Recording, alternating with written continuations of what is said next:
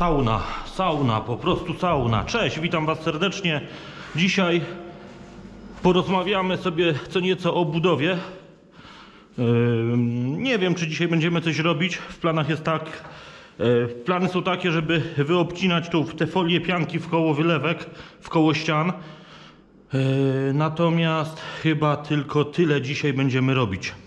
Z uwagi na to, że e, cały mój plan misterny poszedł wiadomo gdzie. Planowałem Planowałem y, ściany gruntować, następnie y, kłaść gładź szpachlową. No niestety jest troszkę jeszcze za mokro, jest trochę za wilgotno.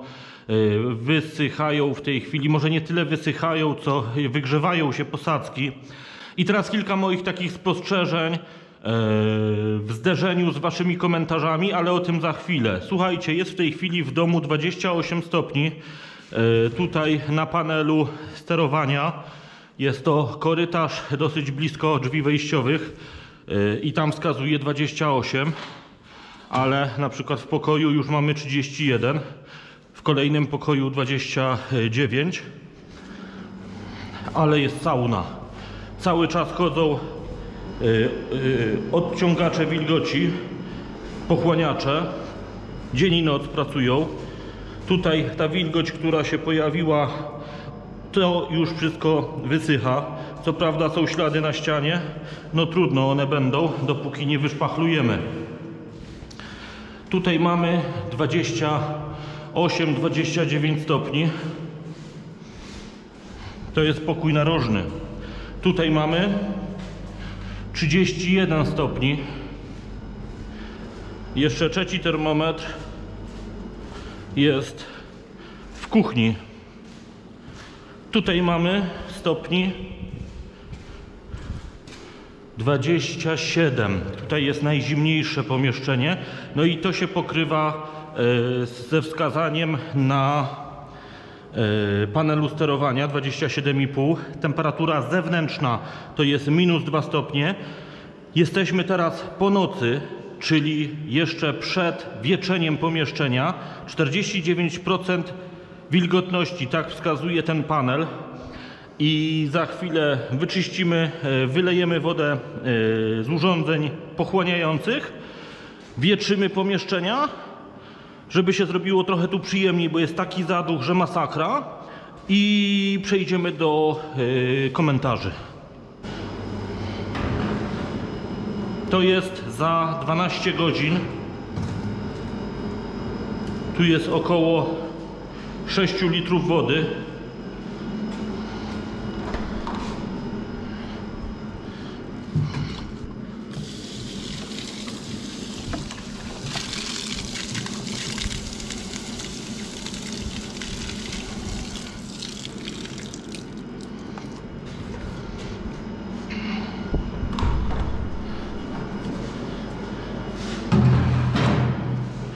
Drugie urządzenie.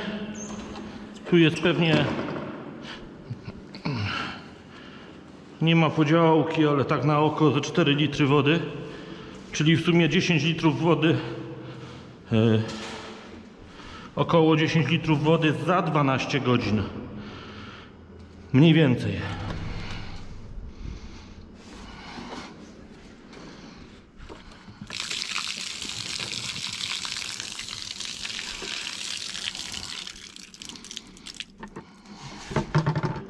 Zrobimy zdjęcie panela, tak żebyśmy wiedzieli, jakie były wskazania przed wieczeniem. Rano. Wietrzymy pomieszczenia.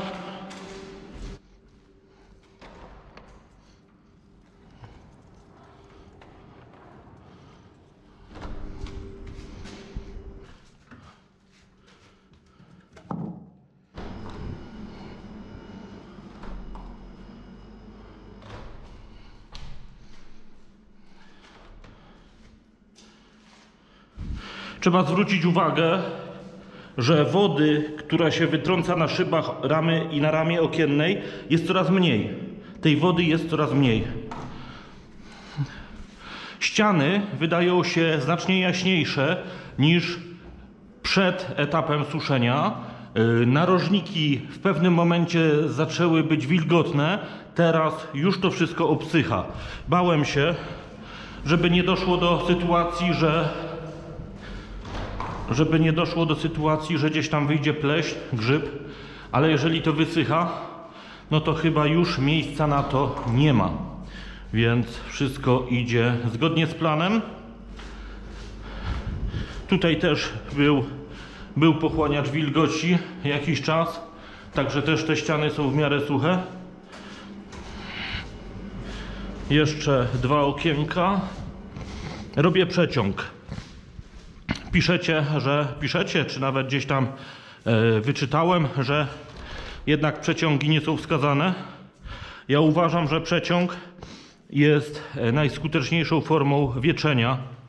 Ja wiem, że e, wtedy powoduje dosyć duży spadek temperatury, czyli ta amplituda jest temperatur dosyć skrajna, ale, ale tak robię i się nic nie dzieje.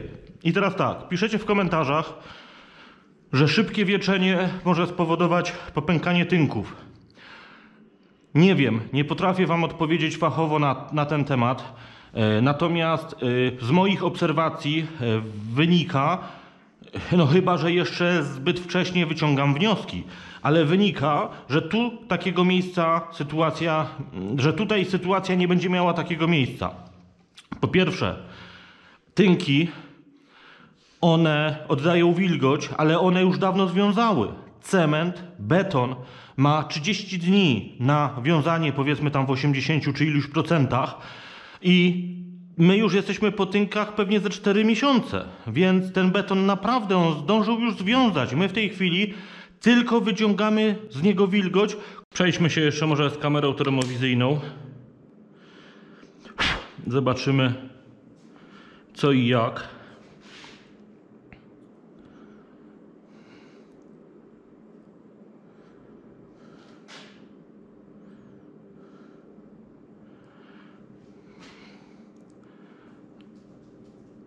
No i tak widać, nadproże w sumie nie jest takie złe. E, Gorsze jest połączenie nadproże brama, ale no, to jest newralgiczne. Tutaj mamy 12 stopni w narożniku, gdzie powiedzmy tutaj ściana ma 21, tam mamy 13-12 stopni, mało, ale to jest spowodowane tym, że od tamtej strony nie mamy ciągłości izolacji, nie mamy ciągłości styropianu, ponieważ jeszcze nie zdążyłem wykleić belki e, całej i w zasadzie wejścia tego przedsionka w domu, także, także jest to zrozumiałe jak najbardziej. Tamten narożnik już jest znacznie lepszy. E, Co mamy tutaj? No tutaj mamy elegancko, nie? Okna, no okna. Okna mają w granicach 20-18 stopni, no, no też nie jest źle chyba. Tak mi się wydaje. Tutaj na dole 16-17 stopni. Yy, teraz tak, włas. No wiadomo, włas to jest tylko styropian. Nie ma jeszcze włazu, nie ma jeszcze pokrywy. Także tutaj trudno się dziwić. Tutaj mamy przedpokój, mamy drzwi, ale bardziej interesuje nas belka górna i ona jest całkowicie nieocieplona. Ta ściana jest przede wszystkim całkowicie nieocieplona, ale ma 24 stopnie, 23. Rama 18. Dół. Widać, że próg jest ciepły, próg nie przemarza. Widać też, że wymagają drzwi regulacji, ponieważ mamy e, tutaj, no widać wyraźnie, że mamy tutaj miejsca, gdzie, e, gdzie jest jakaś nieszczelność. Tutaj nad ramą u góry, jak widzicie, rama jest ciepła, natomiast mur już nie, a to jest właśnie związane również z tym, że na tej ścianie nie ma w ogóle styropianu. Lecimy dalej. Jesteśmy w kuchni. Cała wylewka już jest na czerwono. Podłoga, temperatura około 35 stopni. Narożnik ewidentnie zimny. Narożnik ewidentnie zimny, ma stopni 19, 20. Również jest niedokończona izolacja. Ten narożnik elegancko. 25 stopni, nie ma przemarzania, nie ma jakiejś e, sytuacji, która mogłaby mnie e, niepokoić. Przechodzimy do tej części. Ten narożnik, no jest delikatnie coś nie tak. Mamy tam 24 stopnie, 23 stopnie. Jest troszkę niżej niż ściana, ale to również może być jeszcze spowodowane tym, że siedzi tam wilgoć. Najgorszy jest narożnik ten. Tutaj mamy 16 stopni i to jest też również konsekwencja tego, że ten front domu, to wejście jest nieocieplone. Także te dwa narożniki mamy właśnie dlatego chłodniejsze, bo jest niedokończona izolacja. Podobnie jest tutaj. Tutaj jest również narożnik, który jest jeszcze nieskończony i mamy tutaj konsekwencji, w konsekwencji mamy 19 stopni, gdzie reszta ściany ma 27. Ten narożnik ma 26. Tu się nic złego nie dzieje. Tu się nic złego nie dzieje. Ale zobaczcie tutaj. Nie, no 24 stopnie, nie ma dramatu. Ale ten narożnik znacznie cieplejszy. No i tutaj też się nic złego nie dzieje. Wszystko fajnie, wszystko fajnie. Okna. Okna, jak widać, środkiem wymagają jednak regulacji i doszczelnienia. Ewidentnie widać, że rama odstaje. Rama jest niedociągnięta przez rolkę. Ewidentnie rolka nie trzyma. Ewidentnie rolka nie trzyma.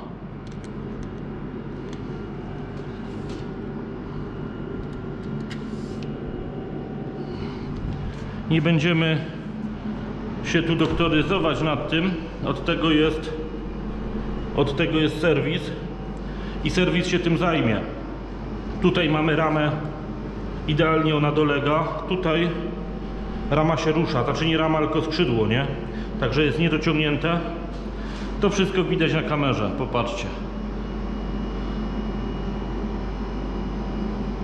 A tu mamy coś takiego.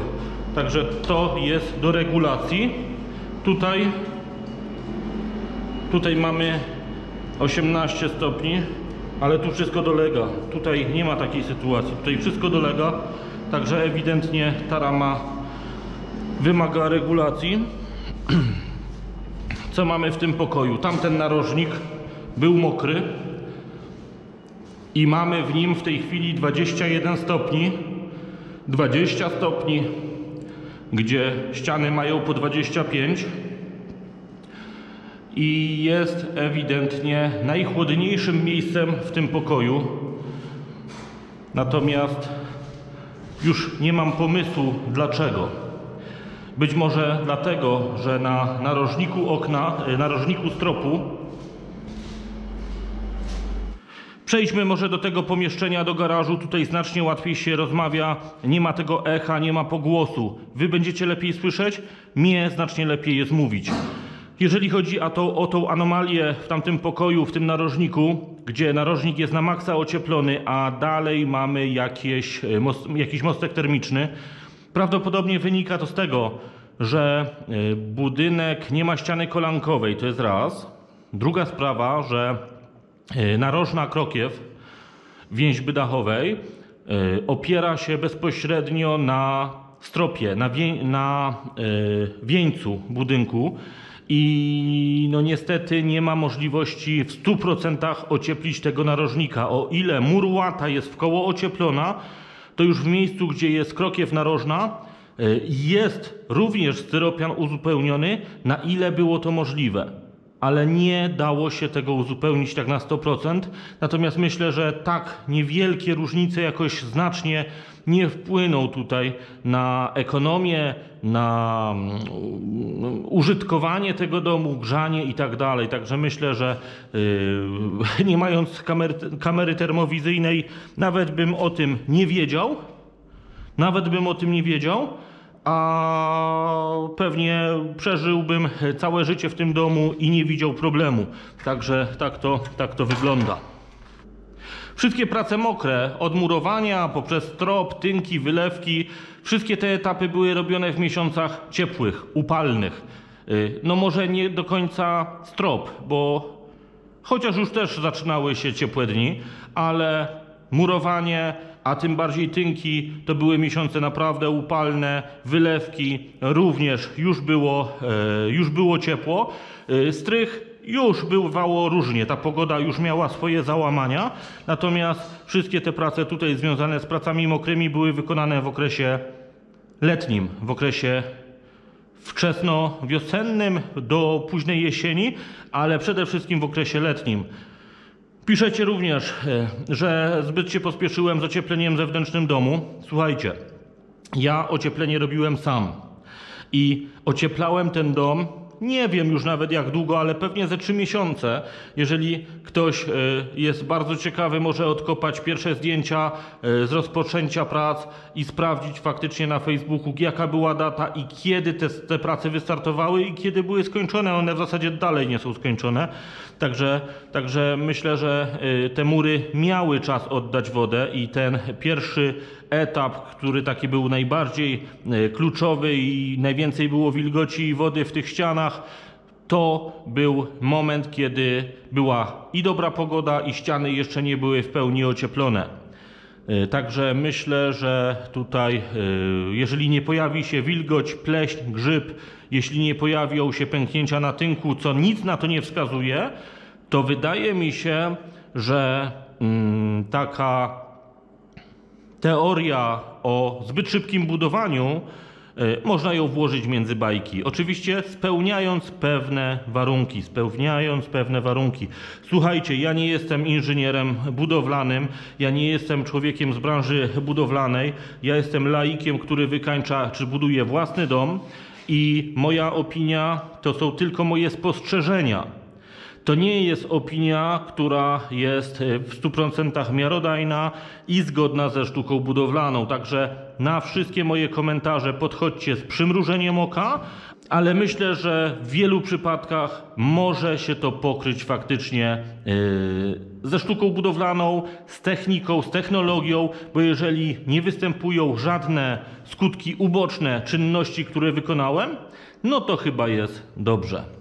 Ok, wskazanie licznika 1250. Tyle zostało pobrane energii y, na wygrzewanie posadzki, z tym, że to jest zużycie pompy ciepła oraz dwóch pochłaniaczy wilgoci. Także pochłaniacze też wcale nie mało y, pobierają prądu, no ale było nie było, sumaryczna jest naprawdę wysoka, ale to zużycie będzie spadać. Znaczy, będzie spadać, będzie coraz mniejsze, bo mm, pompa ona musi osiągnąć swoje jakieś tam maksimum zadane i w programie do wygrzewania posadzki i potem ta temperatura będzie spadać, a więc ta pompa będzie pracować już na bardzo minimalnych parametrach.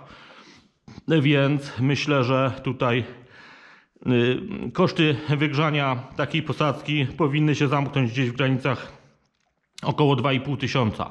Tak strzelam. A jaka będzie realna y, kwota i realny koszt wygrzania posadzki? O tym się dowiecie w kolejnych odcinkach. Y, Musimy zwyczajnie poczekać na wygrzanie posadzki i na podliczenie kosztów. Okej, słuchajcie, myślę, że na jakiś czas prace budowlane będą wstrzymane, zawieszone, a chyba y, zaczniemy kontynuować projekt Crossbagi.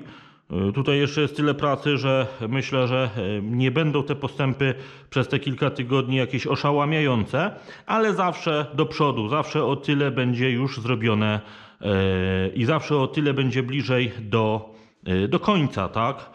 Plany są takie, żeby zakończyć zawieszenie tylne, żeby sprężyny już były obsadzone, żeby dokończyć tutaj rury, zamontować zbiornik, może chłodnicę, y, na pewno y, punkty montażu pasów, również musimy przewidzieć ich miejsce.